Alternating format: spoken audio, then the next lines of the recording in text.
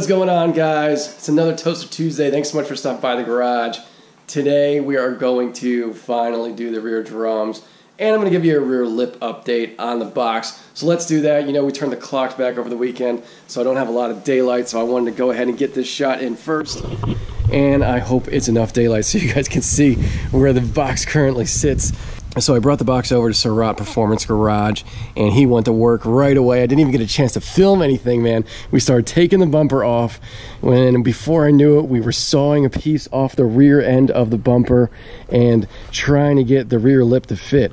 So before I go into how we made the rear lip fit, let me tell you first what my idea was to make this all work. So what was my idea to make this all work? My idea was two lips. That's right. I got a second lip here. So, what I was going to do, if you guys remember, the lip it didn't fit. Okay, the lip didn't fit all the way around. So, what I was going to do was I was going to install one lip and then cut it. And then I was going to install the second lip and line it up with the bumper and then make it so they meet in the middle perfectly, just like the OEM piece. So here's my OEM piece to give you guys a better idea what I'm talking about.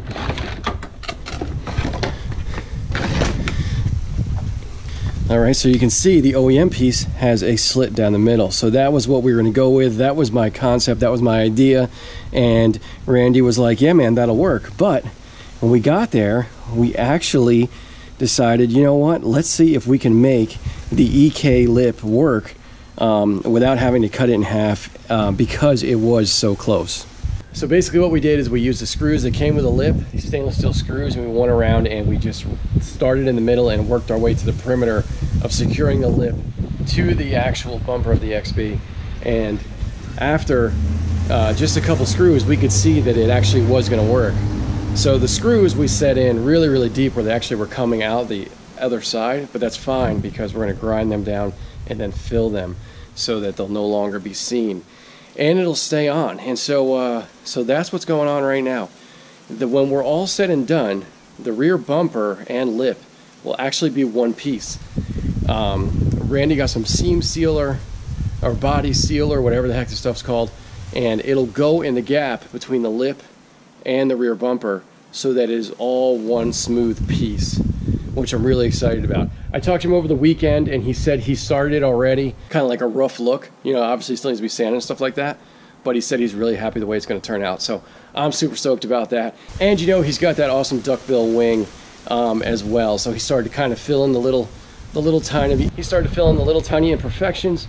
Um, and uh, we're going to go ahead and give that a paint job as well. That's not just going to be regular white. We're actually going to do a little bit of something with that. It was his idea to trick it out. So uh, that should be pretty cool. So hopefully in the next week or so, all that'll be finished and it'll be in next week's video. So let me go ahead and get this thing cleaned up. I gotta get the Prelude out of the garage so we get the box in here and we can finally, finally install these drums. All right, guys, we got the car jacked up. We got the wheels off. Now we're about to take the drums off. And I want to just say real quick, in this video, I'm actually only going to be replacing the drums. I'm not replacing the shoes. I probably should replace the shoes. I replaced the shoes like three, four years ago on this car. It's my first time ever doing any kind of drum brake uh, replacement, and man, it was a nightmare. It was a nightmare. I had no idea what I was doing. Uh, YouTube wasn't as good as it is right now, so um, there was a lot of first-hand learning on my part. So I'm going to explain to you kind of how you remove the shoes, but I'm not actually going to be doing it. We're only replacing the drums. So let's go ahead and get the drums off. Here are your drums, okay? Um, some people like to just beat it with a hammer until it comes off, but it's really not the right way to do it. Um, there are actually two bolt holes. There's one right here, and there's one right here.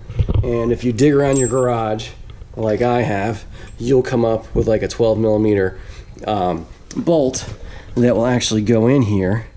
And basically what you do is there's a series of tightening okay? And it gets tight, you loosen it, and you go over to the other one. And what that's gonna do is it's slowly gonna back off the drum. So let me get to it, and get this thing off of here. Oh, one thing I should have started with, man, you cannot have your emergency brake on don't put your emergency brake on. If your emergency brake is on, you will have hella trouble trying to figure out the rear drums. Don't ask me how I know this, but yes, you will have crazy trouble. So e-brake off, put the car in first gear or in park, whatever it is that you have, automatic or manual. But yes, do not have your emergency brake on at all during this entire installation. All right, guys, so after just a couple turns um, with this bolt, this guy has broken loose. And you can see here, you know, you just go back and forth, back and forth, a couple turns here, a couple turns there, and there you go. Drum removed. All right, guys, so now is when I'm gonna kind of go over shoe replacement. Okay, so your brake drums are gonna have two shoes, all right, one here on the left, one here on the right. Um, now, the way that you replace those is is pretty tricky. Okay, if you really start to kind of take a look at what's going on here with a brake drum, it's kind of the same for any car, but man, there is a ton of springs and little levers and little clips that you got to kind of get around in order to get these shoes totally off the drum. So, first thing that you do when you're about to tackle something like this is you take a ton of photos. Yes, photos, like real important close up photos of how it looks before you disassemble it.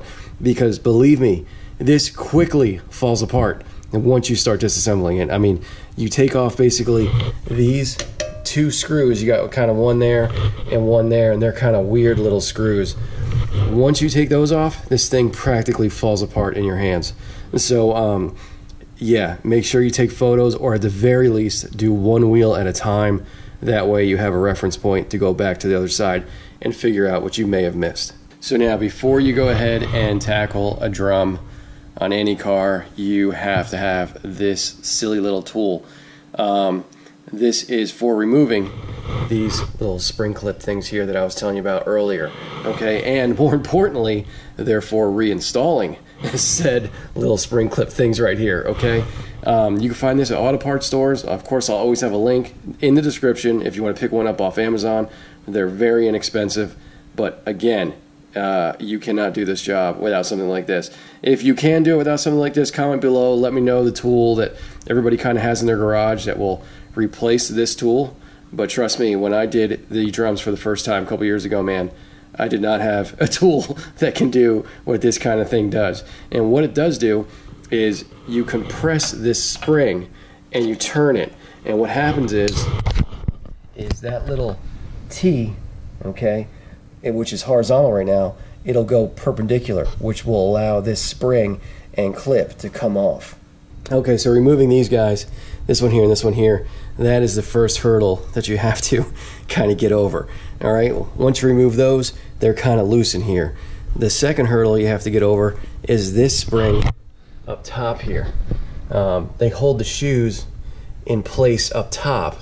All right, so there's a there, there's a piece of metal that kind of sneaks in up top there. It wraps around the e-brake adjuster, which is this spring-loaded I'm sorry if the lighting's terrible. But you can kind of see that spring-loaded piece up there, okay? And then it clips in. Then it clips in right there to the top of the shoe on the other side. So that thing, man, that thing is a bear too because you have to grab it and kind of stretch it to reinstall the new shoes. And man, it's not it's not easy to do. It, it takes a lot of strength, and uh, it's one of those things where um, you you always think it's going to snap back at you, so it's a little scary as well. so yeah, you got to battle that thing. Um, that's not fun. So and and meanwhile, while you're battling that, the the uh, e-brake adjuster is just kind of it's held in place with that spring. So as you're messing with that, the e-brake adjuster just keeps falling out of its location where it's supposed to be. It's it's really annoying. Um, it's one of those things where you need like six hands to get it done right. So that's how that all works. And then finally, finally, do you see that little horseshoe type thing right there? Yeah, you got to bend like an ear off of that um, to get that shoe off and then reinstall it. And it's just an annoying little cheesy metal clip thing that I'm sure every car in the world that has drum brakes, you have to do that with. And again, it's just a very kind of annoying thing to deal with. So the last thing I want to touch on when it comes to the rear drums here is this little piston. If you look behind the drum, you'll see the brake line here. Brake line leads right to this piston. You want to inspect this piston and make sure that it's not leaking in any way, because um, if it is, you're going to replace it. Um, this is obviously covered in dirt, but we don't see any kind of liquid anything anywhere around here, so I know that piston's good, and uh, we just need to clean this off with some brake cleaner.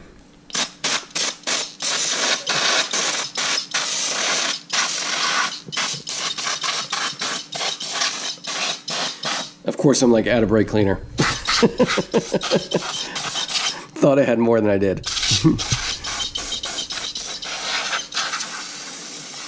and that's that.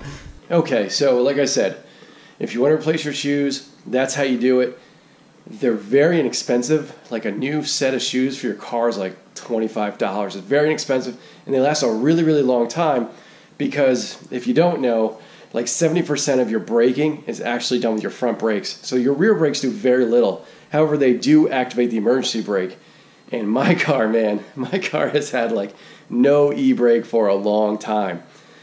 There's a reason why. I don't really want to get into it. Um, let's just say when I did the the rear drums several years ago, I didn't know, I didn't know that you had to replace the shoes and the drums. So all I did was replace the shoes, thinking that's all I needed to do. And it wasn't until later that I figured out that I missed a big part of it. It's kind of like replacing your brake pads, but not your rotors.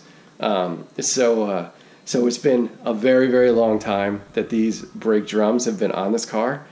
Maybe they're OEM, I don't even know, but that's why I've been wanting to put these these new drums on so that I actually have an e-brake. Um, so we're going to be adjusting the e-brake at the end of the video, and it's a very important part of this. Um, but for now, I just kind of want to show you the difference between the old drum and the new drum. All right, guys, so here's kind of the contact points of the new drum and the old drum. The way the shoes work is they, they run on the inside of the drum.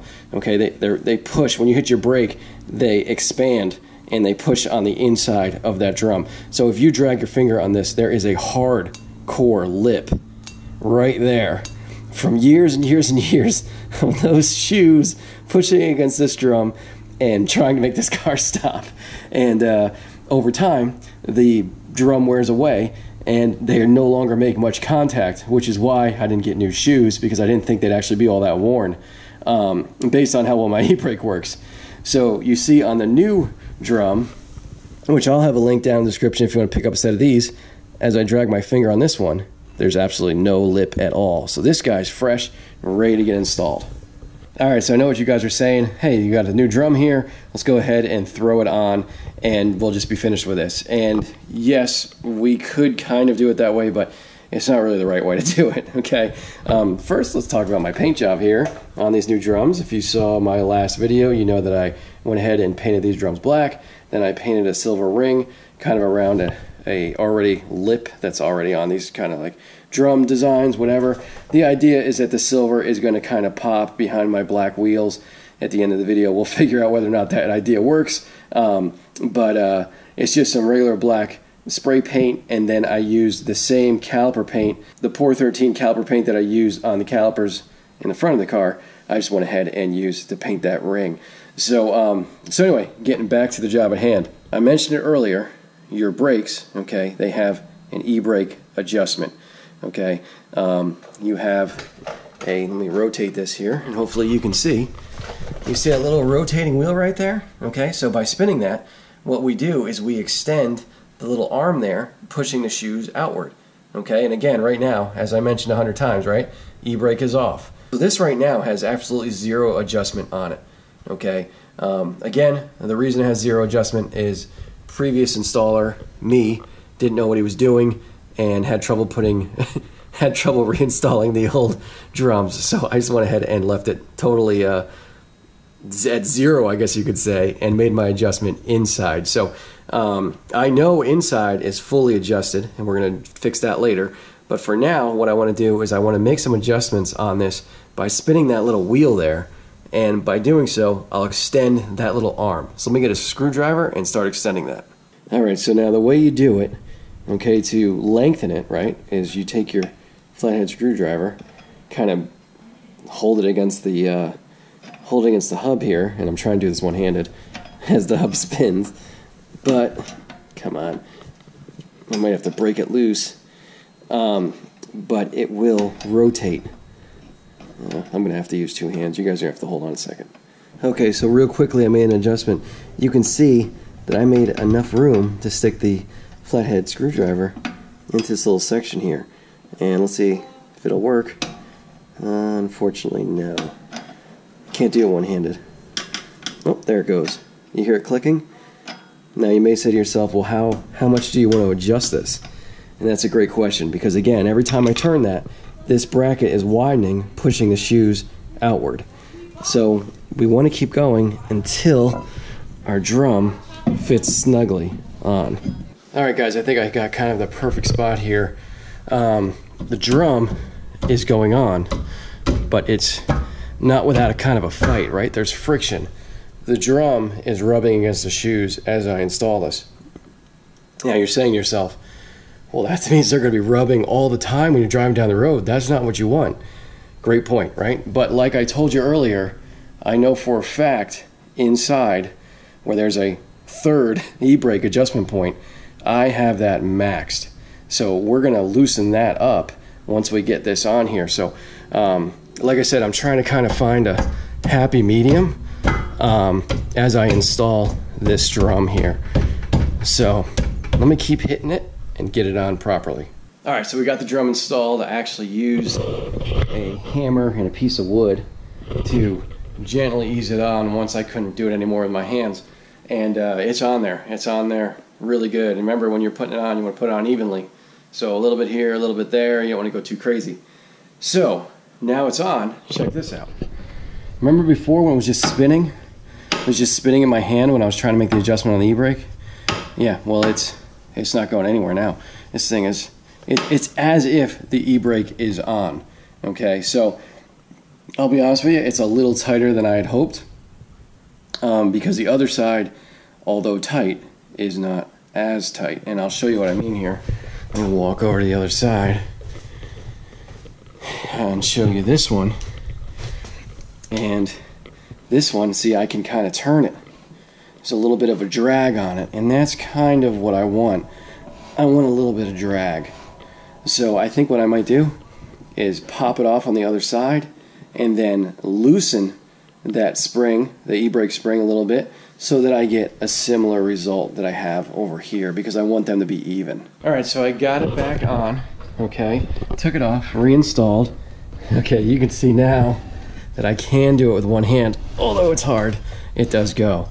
Okay, so I should have mentioned this before, but since I had this thing off and I knew it would be pretty easy to remove, um, I didn't mention it, but you can actually adjust that e-brake kind of spring without actually even taking your wheel off. So it's going to be really hard to see, but behind the drum there is a rubber cover, and if you remove that cover, you will have access to turn that knob. Um, I'm assuming it's even more annoying than doing it from the front here. So I don't recommend it unless you know it's the only kind of uh, way that you have to make the adjustment. It's really kind of how you're supposed to do this if you read the book. Um, you do all this work and then you finally make your adjustments at the wheels. Um, I'm kind of doing it a different way this time, and I think I'm going to have a decent result. But anyway, yes, there is a way to access that without actually removing the drum. So anyway, guys, as I'm rethinking this entire install, I'm thinking to myself that maybe I shouldn't have any drag at all on the wheels um, because when I do apply the brakes, they're going to obviously kind of expand, and maybe having drag on it is a bad idea. I don't know. Um, all I know is that we're going to go inside and make the adjustment at the e-brake. I got the wheels on. What do you guys think of the drums? I think they look pretty cool, man. I definitely do think they're going to help the wheels pop a little bit in the rear, just like the front half with those silver calipers. So anyway, let me know what you guys think down in the comments. Should I just kept them black? Should I paint them all silver? Should I paint them pink? Let me know in the comments what you think. But now we're going to dive into the interior of the car. We're going to make an adjustment to the e-brake at the third adjustment point So what you have to do is kind of take your center console apart a little bit to access the uh, the adjustment point for the e-brake. How awesome is the back seat of the XB? My God, so comfortable, so much room. I should do a whole video on the back of the XB because it's just an awesome, awesome, awesome back seat for a vehicle, man. It's unbelievable. It's like the best part of the car. But anyway, onto the e-brake, and uh, I'm feeling better about things. I just kind of adjusted the e-brake, and I think everything is right. So um, that's good. that's good. But anyway, let me show you the adjustment point, okay? So down here, um, I removed the center console. I didn't show you how to do that. I removed the center console. It's like one bolt and two clips. So sorry if I didn't show you that. Um, but anyway, you have kind of a set screw here and an adjustment screw here. You got to loosen the set screw first and then make the turns. And as you're turning, tightening and loosening, you're basically adjusting this. Um, you got basically two brake cables, one going on the driver's side, one going on the passenger side. And all we're doing is we're moving this bracket forward and back. And as you can see, when I pull the e-brake now, watch that bracket. Okay, so the bracket moves in, which is causing tension on the brakes and everything's good now. So um, I think the, the the book says you're supposed to do like five to seven clicks is really the sweet spot for the adjustment. So one, two, three, four, five, and now if we come outside, you'll see that that's not going anywhere. All right, e-brake is really holding well. So go back inside put the e-brake down. Okay, no tension on the e-brake. Come out here and look at that. Spin the wheel with my hand. And same over there. So I think we're good, man. I think we're good. All right, guys, good news. Absolutely no issues with the car. Also no noise, anything weird. And the e-brake is working finally. Finally, I have an emergency brake that'll actually hold my car on a very, very slight incline like my driveway. Thank you very much for sticking through this installation. I know it kind of wasn't by the book, but we got the good result at the end, so that's all we can ask for. Let me know down in the comments, what do you think of the drums? Let me know if you're excited about the rear lip. man, it's going to look awesome, man. I'm super stoked about it. Um, let me know if you're excited about the wing. It's all coming soon, guys. Thanks so much for stopping by the garage. Make sure you hit that like button. Make sure you subscribe. We'll see you next week. Later, man. Bye.